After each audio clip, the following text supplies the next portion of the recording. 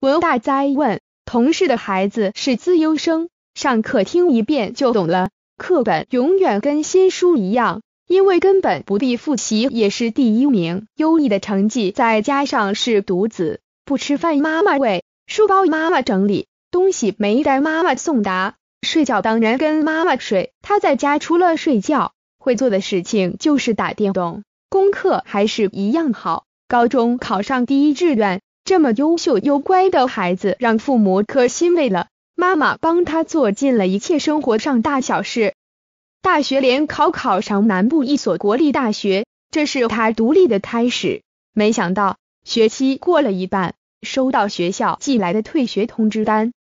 原来注册完，父母帮他找好宿舍安顿之后，他就躲在宿舍打电动，少了妈妈在身旁，不止没到学校上课。连书都没买，当然也没去考试，想当然尔，退学了。只有先当兵，但退伍后还是宅在家打电动。三十多岁了，没上过一天班。有天听到消息，同事想让儿子出家，让佛祖来教化他。